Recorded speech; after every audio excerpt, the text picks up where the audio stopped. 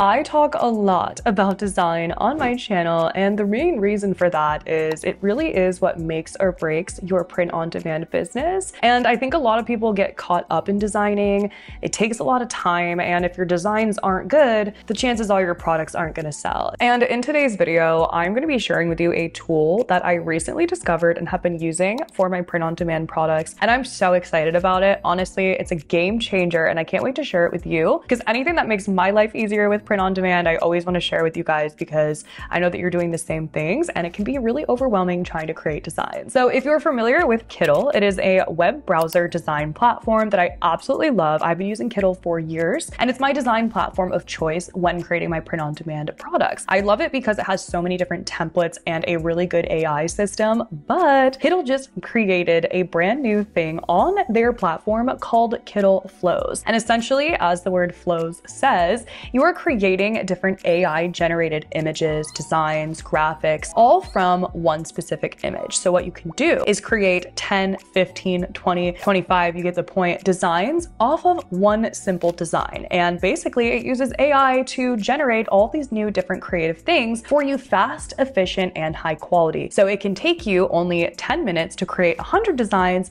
versus well, we all know how long it can take to create one design that makes sense, right? So I'm gonna show you exactly how it works and I'm really impressed by it. It is brand new too, so I'm excited to be sharing it with you. I've been playing around with it a little bit. It is in beta, but um, definitely something that you should hop onto now. And so of course, everything will be linked in the description for you. And yeah, let me show you how it works so that you can get a glimpse into this and get on it. Once you're logged in here on the left side, you can go over to templates on Kittl and then scroll at the top here to where it says creative flows. Now there is a bunch of different stuff here that you can create, but let me open one of these just to give you a better idea. So this one here, they wanted to create a bunch of different graphics for a design. And what they do again is start with one specific graphic and then use AI to create more. So here's the graphic that they initially started with. And then they started giving each individual one here a different input to create new designs. So they started out with one design, then created this line of designs, and then used the AI again to generate more variations of that specific design. So you can see how this could save a lot of time and create a bunch of different types of designs too. And if I wanted to create a version off of this design, all I'd have to do is select this, hit smartboard, and then give it an AI prompt to change this. So I could say, make this pink and girly, add lipstick and eyelashes with a smirk. Okay, generate and let me just show you before we create our own designs how easy this is. Okay, so check it out. This just created the variation that I asked it to make. And as you can see there, how this could just keep going and going and going and create all these different designs. And I can use that same exact prompt and go down the line and create a new one of all of these. So it's just really cool and really great. So let's go ahead and create a design from scratch. I'm also gonna show you some graphics too. So make sure you stay to the end of the video so you can see how much this will be able to help you out in your designing journey journey. So what I like about this too is that you can start with either a pre-made graphic that you have, or you can just start from scratch with some text. So let's go ahead and do that first. I'm gonna go up to here where it says new project on Kittl. And when you're creating your artboard, um, the easiest way to do this is to create into a like square artboard. So you can put it on multiple products. So I'm gonna do 2500 by 2500 pixels. Okay, and keep it just like that and hit for it to create our artboard. And so this is our blank initial artboard, right? And so I'm just going to add some text here. So I could add a bunch of different things, but I'm going to start with a school counselor because I want to create a bunch of different designs for a school counselor t-shirt, mug, tote bag. You get the point. So I'm going to say school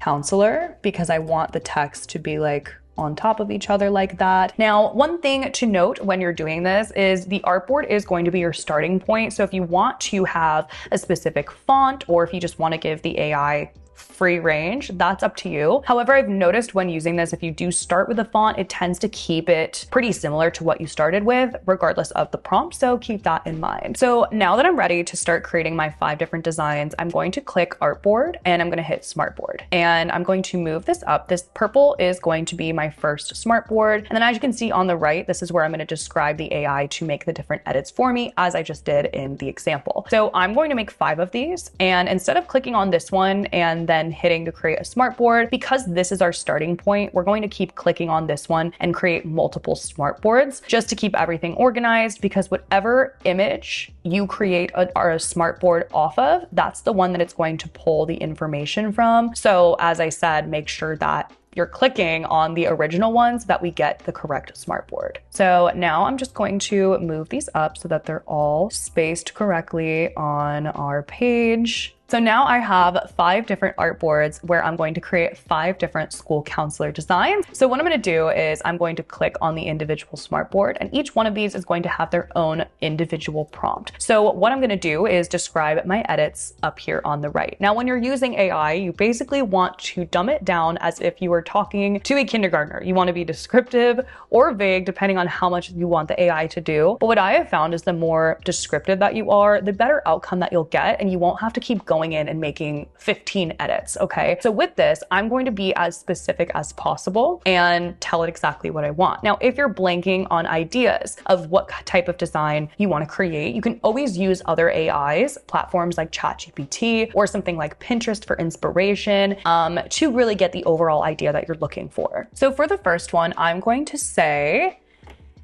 in a playful hand drawn chalkboard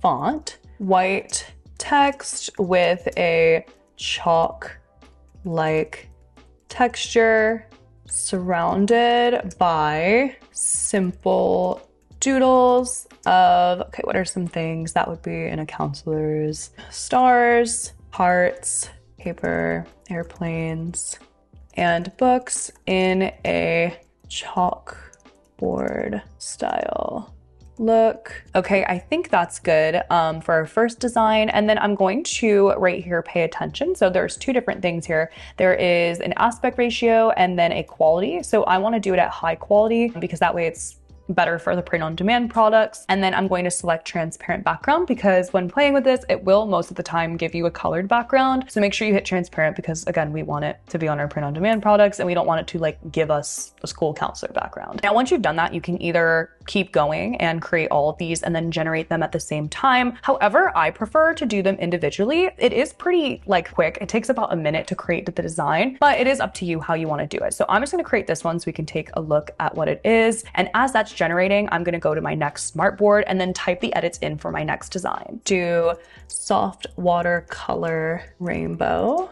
This one in a clean, modern serif font. And as you can see here, this one was just created and check this out. So it created basically exactly as I said, it wanted that chalkboard style to this design and it made the design for me in just a few seconds. And then I have some prompts ready to go. So I'm just gonna do the same thing and hit transparent background. And I will generate these at the same time. But as I was saying to you, because this is in beta, I've learned that instead of doing it all at the same time, like to do each individual one and click to generate them versus selecting all of them and then hitting generate, it just doesn't work as well, in my opinion. Yeah, so that's just what I've learned.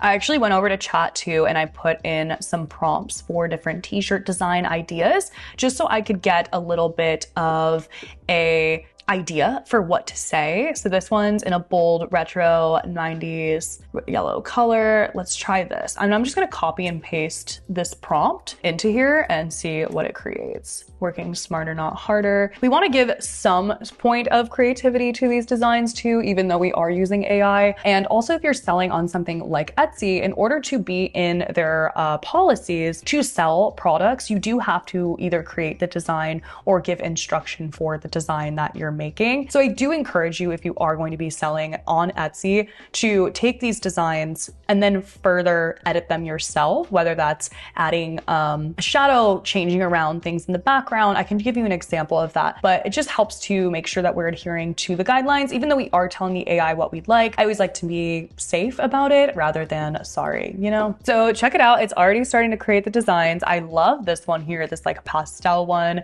Check out this one. This is beautiful. This I think we could do a little bit more with. So I think that I'm going to change that one. But you can definitely get the idea here how this AI is creating all these different designs for us. And all we did was type school counselor. Like this is so cool. And I think like as I said, the more descriptive I was, so like this one, see how descriptive this was versus this one, you're definitely going to get a better result. So I would definitely utilize your creativity with this, give it as much info as possible. Easier to type than to like actually create the designs, in my opinion. And you'll get so many different things off of that. So let's wait for this last one to be done and then we'll do some further editing because once you're on here, you can click and you can make edits and hit generate again. So like I could ask it to add color or a background or be more bold and then generate it again if I do want to. Okay, beautiful. So we have some clear winners here for designs that I would use. So I absolutely love this school counselor one down here. I could ask it to add in something more school-like or make it pink. Same with this one as well, and maybe some color to this one. So let me show you how you could keep going. Now I wanna make a variation of these two designs right here. So what I'm gonna do is click on it and then create a new smartboard. So always by the arrows, you can tell where your smartboard's coming from. So this one is creating off of this specific prompt. So it's going to take everything from this prompt and apply it to this smartboard. So I'm gonna click on the smartboard and give it the update. So I'm gonna say keep it the same, but make it pink ombre, add more sparkles. And then for this one, I'm gonna say keep it the same, but change the text to guidance counselor. Okay, so check it out. I did exactly that. It said school counselor, added some pink, and if I want to keep this design or keep changing it, and then I could just keep going. So now I can say to this one, change the text to guidance counselor. Okay, so you see where I'm going with this now is if I could keep going with this exact design, if it's the one that I liked, and do school counselor, guidance counselor, uh, kindergarten teacher, first grade teacher, second grade teacher, third grade teacher, and I could have a full 10 designs based off of this. Same here. See this? School counselor, kindergarten teacher, and I could keep going. So that's the whole idea here of creating all these different types of designs. So I could sit here for like maybe 15 minutes, if that, and create 10 different designs for different professions, right? I could even go into doctors, I could go into different lawyers, so many different things here. There's so much opportunity for this. And all you have to do is type in the different prompts for the designs. And this one's making me sad. So let's go ahead and create something a little bit better. And also there's this enhance prompt button that will give you a more enhanced idea of what exactly you're trying to create. Again, everything in here is beta, but it's pretty cool that you can enhance the prompt from what Kittl actually says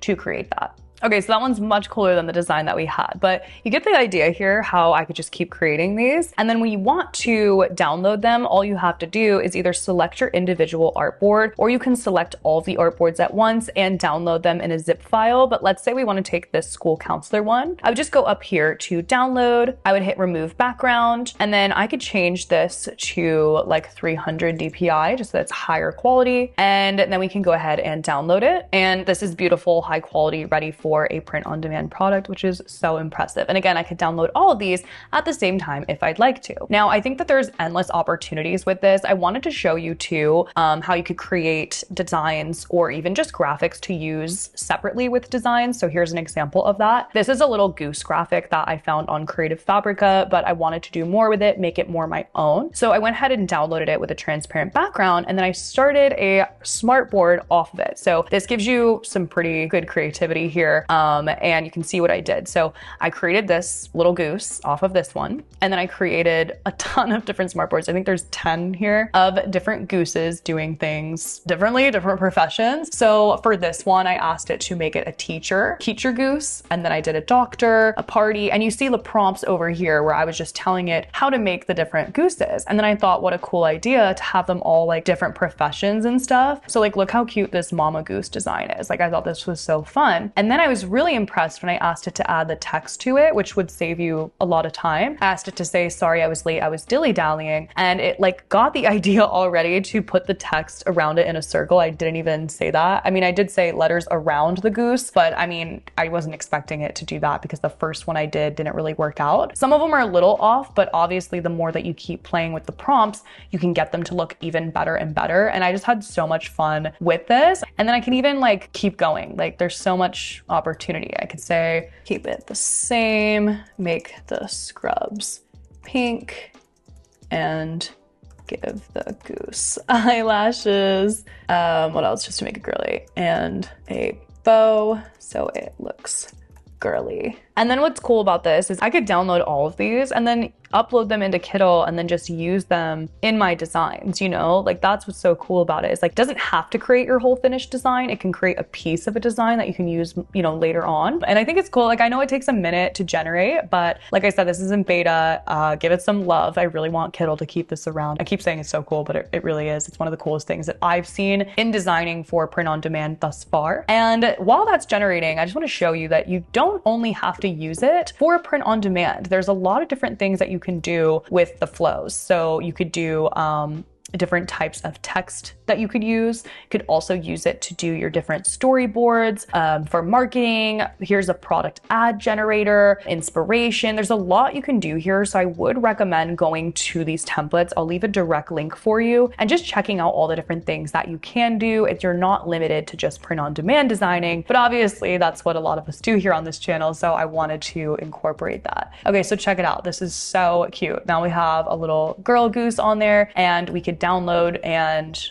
add text to this if we wanted to. There's so many different opportunities. This actually be really cute for embroidery as well, this design. Like if I actually did the text in black and then did it for embroidery on a t-shirt on Printify. Okay, cute. And see, we just made a little t-shirt design in just a few minutes. Could obviously make this design a lot better, but I'm just kind of showing you the idea here. So you can either make the full design using the Kittl flows, or you can take graphics or fonts and then later take it in to make your own design. There's so much creativity to be had here. So definitely utilize that, see all the th- different things that you can do. And this is run on Kittl's AI system, which is a credited system. Once you have an account, you'll get a certain amount of credits on your account for your AI. And if you don't have any credits right now, actually, Kittl is running a pretty cool promotion, which I'll leave down below, where you can do a challenge and earn some free credits for AI. So, more credits you have, the more awesome creations you can make. And I'll have a link for Kittl below if you don't have an account. And I have a code as well for a discount too um, on some paid paid plans. So definitely something you can check out. But overall, I really am excited about this tool. This is something I'm going to be utilizing on my channel, and I would love to hear your thoughts on it. And I know AI can be a bit intimidating, um, but I think that if we can use it as something, as a tool like this to help us be more efficient, to really bring our ideas to life, because sometimes that's the hardest part of a design. You might see something you want to recreate, or you might have an idea in your mind, and like bringing it to life